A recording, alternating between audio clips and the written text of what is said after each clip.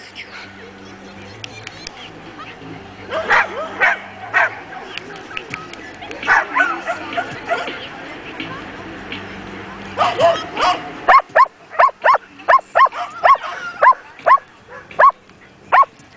Lepiej do mnie.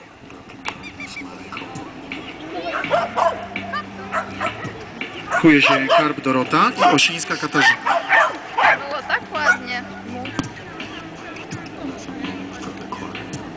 ¡Ah!